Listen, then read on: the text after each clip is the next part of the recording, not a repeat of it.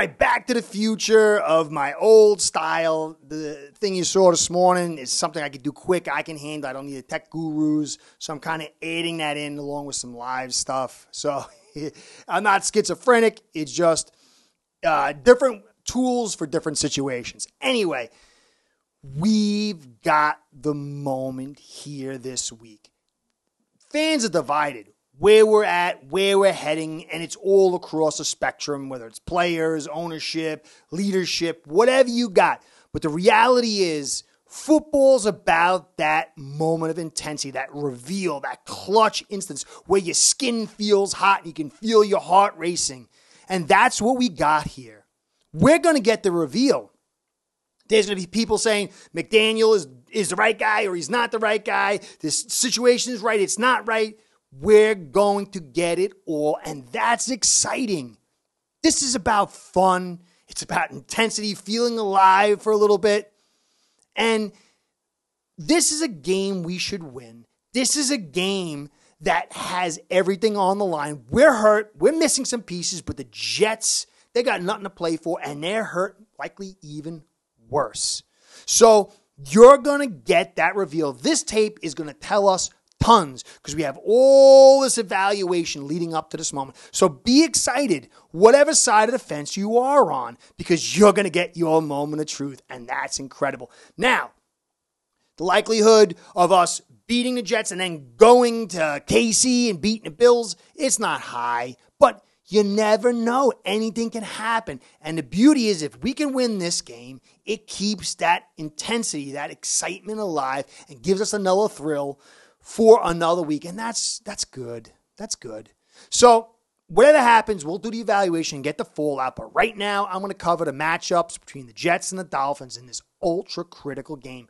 First, I want to give you guys a shout out for stopping by here. I appreciate it. I appreciate everything you do. I didn't think I would do one season. Now I'm getting done with a second.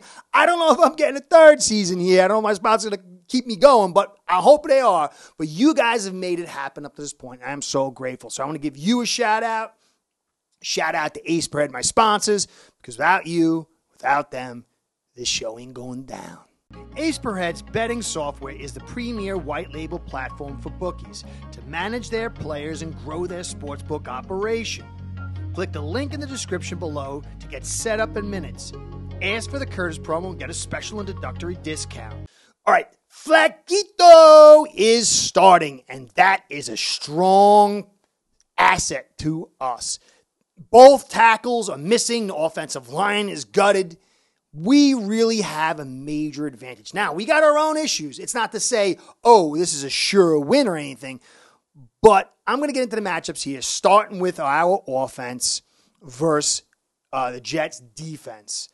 And clearly, you can see Thompson has struggled. We remember him going against the Jets the first time. He got beat up. He had Terron for the first quarter or so, and then he lost him and it got ugly. He's got Little and he's got Eichenberg.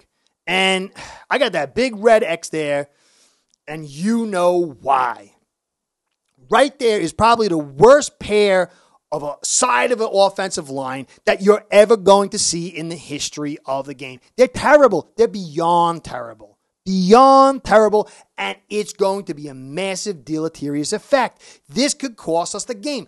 But, but, we have to see what the staff does to protect them, how they do it, how they stand, rise up themselves. Because, you know, they're putting them in a game. They've been banking on them. Grier's banked on them for two years, through two regimes. So this is their moment. If they rise up, then it means our leadership is smarter than us. But they're going to have a very tough time with Lawson and Williams, Quinnen Williams on Eichenberg. It's going to be it's going to be Connor and Eichenberg doubling on him all day. And I'm not sure if that's going to be enough.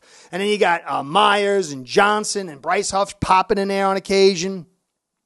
This is a very huge advantage. I give it two stars because Quinnen Williams is probably one of the best pass rushing overall D tackles in the league. It's going to be a massive, massive difficulty. But for our side, we do have some assets.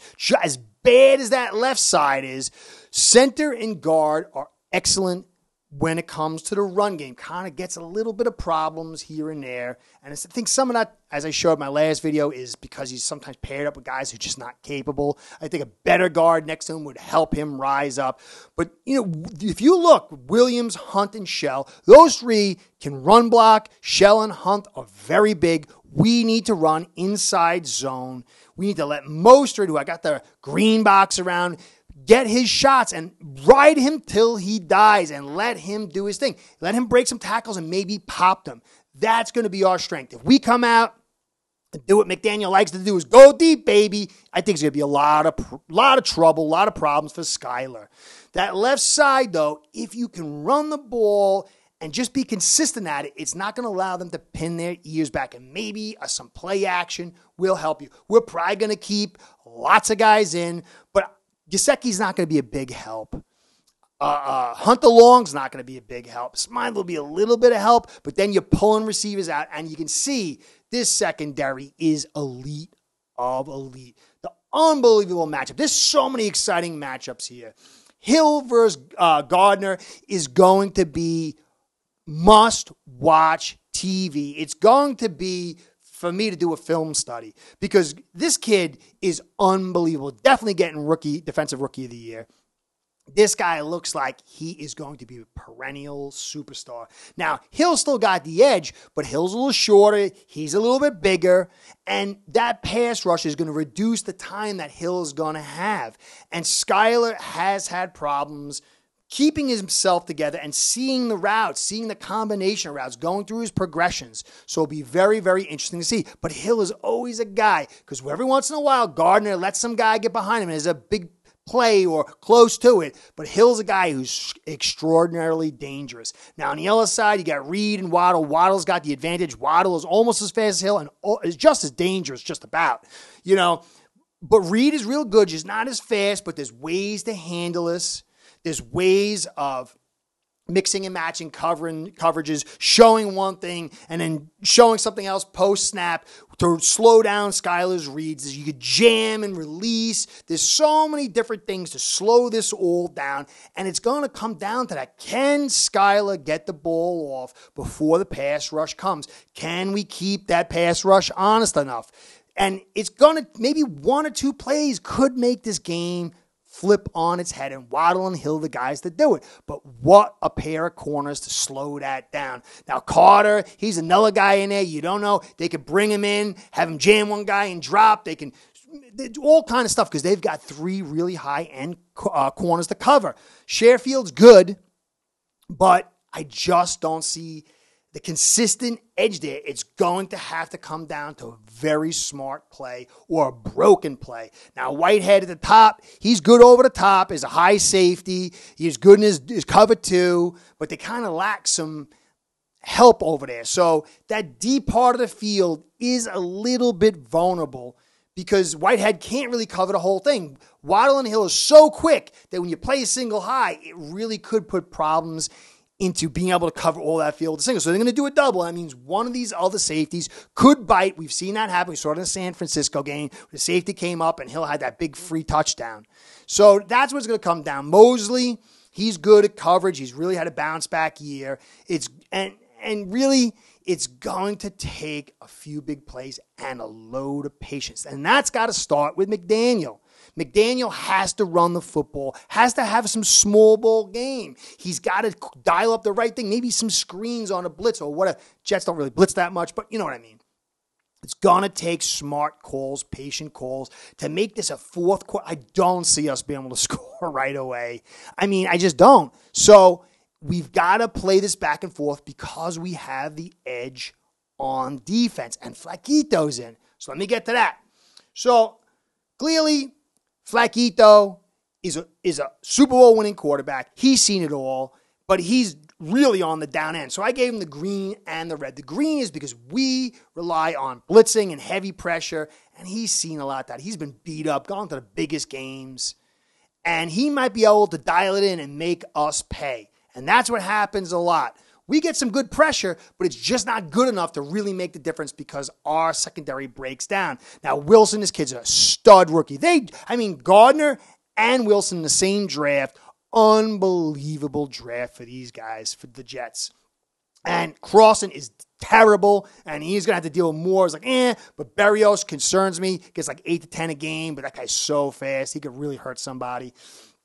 Davis on on uh, XX can make that pick, but he just looks like he's a shell of himself with those injuries. So it could be, and you know, I gave Kohou a yellow because he's really good in zone, but man is really, really struggles. Now that mid clock is where he really struggles with, but I don't know if the Jets with Flaquito and this offensive line of theirs against our pass rush is going to get that plays that many times into the mid clock. We got Chubb who's coming back, Phillips, Wilkins, Ingram, Sieler, Van Ginkel.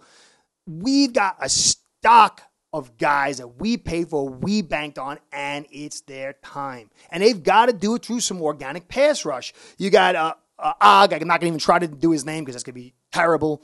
And then you got Thompson, who's having a real down year. That's a struggling side. Nothing like ours. I mean, Little and Eichenberg is like quantum leaps worse than this. But these are the guys can get taken advantage of. Now, uh, Uzomah and Conklin, they're not like our tight ends. They can kind of block, they can kind of catch, they can kind of do everything a little bit. So I might be able to slow it down a little bit, but still, I mean, we paid an arm and a leg for Chubb. It's his time. And we got Phillips and Sieler and Ingram, and you're going to be able to mix and match that things, and you're going to be able to play some zones, and you're going to drop seven guys into coverage. And, you know, Roberts, Baker, and Rowe, you know, Rowe's down here. Baker kind of rises up a little bit. Uh, uh, um, Roberts is really great at run stop, but he struggles a little bit slow footed in the zone. So there's some spaces in there. You know, some spaces in there that could hurt us. But Holland over the top should limit it. I don't think he's going to have a big day because I don't see them really attacking deep too much. You know, so and he might come in for a blitz and do what he does. But I think that might even hurt us a little bit because I think Flaquito might be able to pick that up. But it's going to be that run game. McGovern and Feeney, they can play pretty decently. They've got Johnson, who's a really good running back, real fine for them, and Noah Fine, and Carter, who I like. I expect them to play a patience game, try to let this defense win it. They're used to that game. We're not. It could be a little bit of advantage, again, if McDaniel doesn't play patience. Ultimately, I think this game is like a 17 14, 20 14 type game. And turnovers, if we're trying to go deep or they're trying to make something happen, fumble here, interception there, big sack, it could turn it around. Big play by Hill, big play by Waddle. This is going to come down to small ball management, lack of penalties.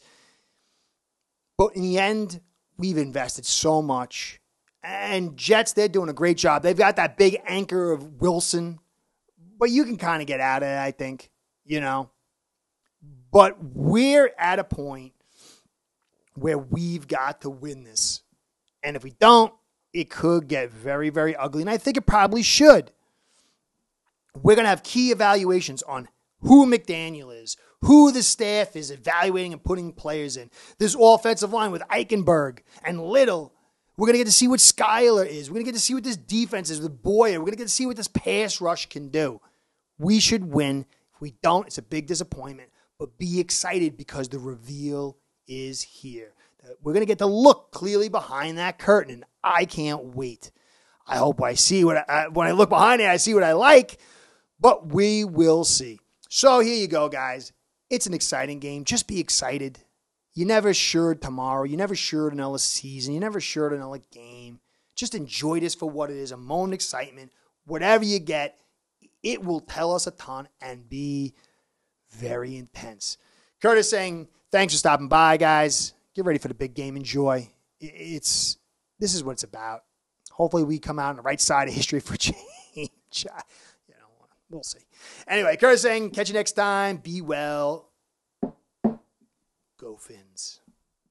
Start building your own online sports book today by getting signed up with AcePerHead.com service that'll allow you to book action on sports from all around the world.